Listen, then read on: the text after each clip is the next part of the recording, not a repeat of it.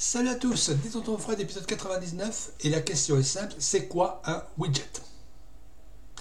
C'est la traduction, enfin la contraction du terme Windows Gadget.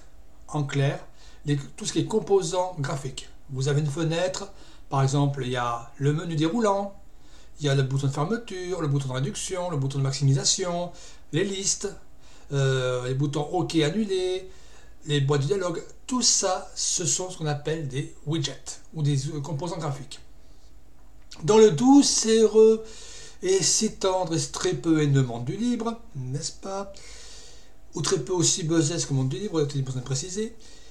Il y a plusieurs grandes familles de, de gadgets, de widgets, les principales étant GTK pour GIMP Toolkit devenu GNOME Toolkit.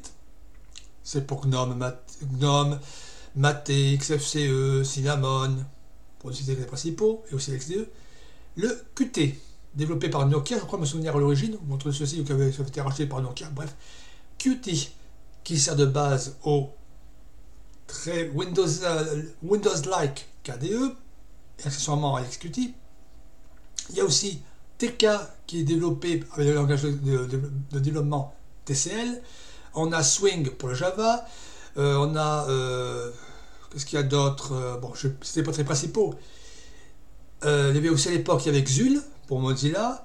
Donc, ça permet d'avoir, de dessiner ensemble la fenêtre. C'est ça qu'on appelle un widget. Voilà. Que ce soit le bouton de marche, enfin, un bouton pour enregistrer, un bouton pour annuler. C'est tout ça. C'est ce qui permet de rendre l'interface graphique utilisable.